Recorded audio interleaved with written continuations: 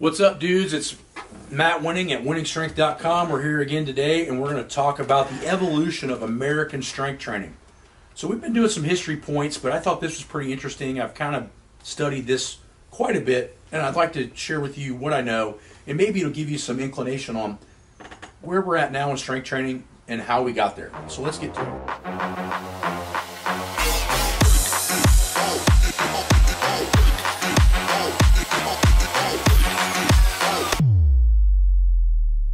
In America, strength training really began, in my personal opinion, in the 1950s. There was a lifter named Paul Anderson. Paul Anderson was from Georgia. He was super strong. He was like 5'6, 330 something pounds. Um, he was the first and the last American to win a gold medal in Olympic weightlifting. Now, with that being said, when he went to the Olympics, the Soviets saw him and they went in search of people like him in order for them to get the records back. And when they found Vasily Alexiev, that started the whole conjugate system. But in the 50s, there was a man named Paul Anderson, and Paul Anderson was heavily known for training very, very oddly. He would squat out of pits with big 60 gallon drums filled full of concrete, and he would do it at different heights. So he would squat 1,000 to 1,200 pounds at quarter squats, half squats, all kinds of shit. But at the end of the day, he was kind of the first guy that really pushed lifting to the next level. You have to remember at this time, there was no powerlifting. There was really not even really any many gyms as far as strength training is concerned. Um, so things of that nature, gyms were just kind of not really existent. Fast forward about another 10 years, you run into a lifter named Pat Casey. Pat Casey was the first man to bench 500 and 600 pounds of I know 600 for sure, but he, I think he was also the guy, the first guy to bench press 500. When Pat Casey came along, he was kind of a monster among mortals. He had humongous lifts. He was a monstrous man, six foot ish, somewhere around 300 pounds, pretty damn jacked, and kind of started the ball rolling into maximal strength in the Americas. A lot of that had to do with magazines. That's when um, a lot of the older magazines started coming out. Pat Casey started writing some articles and there was just this aura of I want to be big and strong, I want to be masculine. Pat Casey kind of embraced that in the 60s. Now, pushing into the 60s and 70s, obviously we had Arnold Schwarzenegger and all those other guys in bodybuilding. We're going to stick more into the performance side and maybe say some names that you may not know of or you should know of if you're in strength training or plan on going into strength conditioning or personal training. I would say the man that made the most difference in the 70s. This is a very, very open statement, and everybody can have their own different thought process. But in the science of sports training, and really, in my opinion, Boyd Epley has to be given credit for being the man of the 70s. And the reason for that is, is Boyd Epley was studying a lot of jumping and strength training by the Eastern Germans and, and Soviet bloc countries and noticing that their athletes were very powerful and very strong. And when he did that, he came back as a graduate assistant to the University of Nebraska, which we all know was a massive powerhouse in football in the 70s, and said, I think that if we change how we condition and how we strength train, which you got to remember in the 70s, nobody was lifting weights to play football. If we make a structured weight training program and we do things a little bit differently, like the Eastern Bloc countries are doing, we should be able to create a juggernaut and make our guys much stronger than the guys they compete with in football.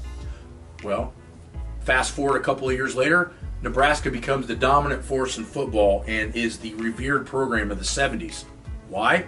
They were just better conditioned and stronger than the rest of the players that they played. And the reason was because Boyd Epley was willing to try to promote this at University of Nebraska. And don't get me wrong, he had a lot of friction to do that. The head coach sat down and listened to what he had to say, agreed with it, told him that we're going to try it, but if it doesn't work, we're going to fire you.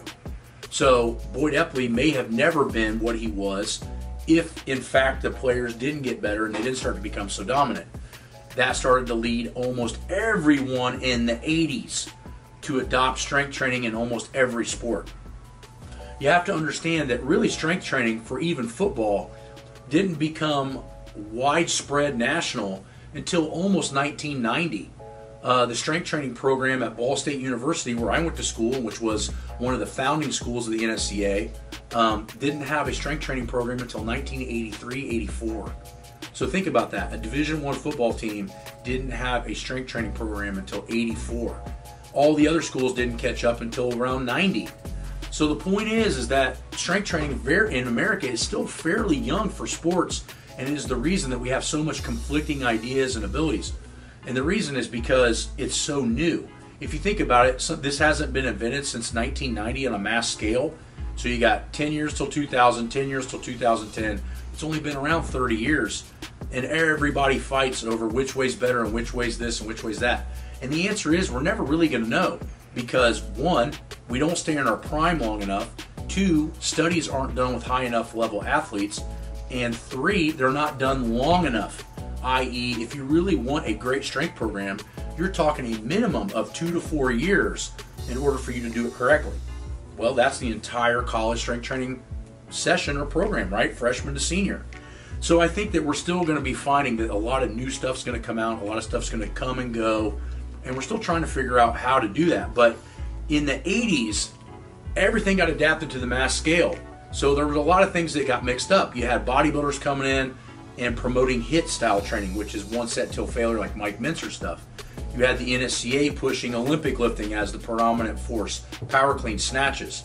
Not that they're all wrong, but there's a certain build you need to have for Olympic weightlifting. And does it transfer to football and track? And maybe, maybe not. You have bodybuilding, you have powerlifting, you have all these different scenarios that are creating uh, strength training a, a huge complex of different methods and ideas in order to understand. But now, from the 80s at least, they're there. Now, in the 90s, more and better research starts to evolve. So Ball State had its, you know, from Dr. Costill had its strength and research program. We had uh, hyperbaric chambers that were the size of whole rooms to work out in. We had jump force plates. We had all kinds of stuff, but we were really starting to study how strength really works and why. But the real limiting factor to all of these particular studies, and still today, is we're just not utilizing guys that are at an elite level. One, there's not that many of them, and two, they're hard to study. So what do we utilize? We utilize recreationally trained athletes or even Division One college athletes that may or may not be very skilled in weightlifting. They do a say a five or six or ten week study, and then we start to base all of our training off that. Is that correct? The answer is probably not. But it's also the reason why we fight over stuff and why, if you read research articles, you ought to read everything about them and the, the sample sizes and all this other stuff and start to find that it's really hard to prove anything exercise science based on the fact that you're measuring humans. So I think that this starts to get you guys to understand that this is why we're so confused on what works. This is why we have so many different ideas and opinions on what we do. Who do you listen to? And that's a great question. The answer is I don't know. All I know is I think there are three pillars of things that you need to have in order to be someone that has value to listen to. One, you need to have lasted at least 20 years in what you do. Two, you need to have a very high level education and show that you are willing to sacrifice your time, money, and energy in order to learn what you want to learn. And three, you need to probably be at a high level at some point in your life. I'm not saying you need to be Michael Jordan or Usain Bolt, but you need to be good at whatever you're teaching, as good as you can possibly get. The reason is, how do you know how to train through plateaus if you've never been in plateaus?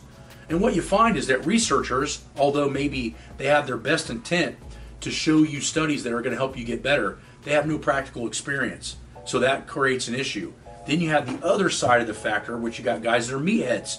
They're super strong, but they don't know how they're strong, and maybe some of that's just genetic. So then they don't understand the researchers, then everybody fights in the middle. So I find that there are very few of us that have done this for so long at a high level and went and educated ourselves to be better and show you guys better stuff. So remember those three pillars of things when you're starting to look at research, you're starting to evolve your own training. And if you need help, go on wenningstrength.com and we're more than happy to show you the manuals or help you with online coaching and design stuff that's based for you.